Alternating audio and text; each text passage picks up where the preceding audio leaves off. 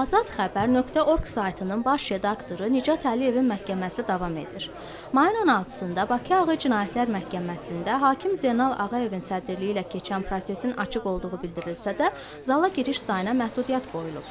Prosesdən sonra vəkil Anar Qasımlı Nicat Əliyevin ifadə verməkdən imtina etdiyini, həmçinin onun müdafiəsinə daha iki vəkilin Yalçın İmanovun və Abil Bayramovun da qoşulduğunu bildirib.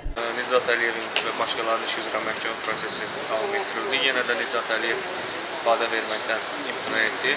Bu gün Nicatın müdafiəsinə həmçinin ə, həmkarlarım deməli Yalçın İmanov və Abil Bayramov da qoşuldular. Digər təqsirləndirilən şəxslər də ə, ifadə verməkdən imtina etdilər və şahidlərin ifadəsi oldu.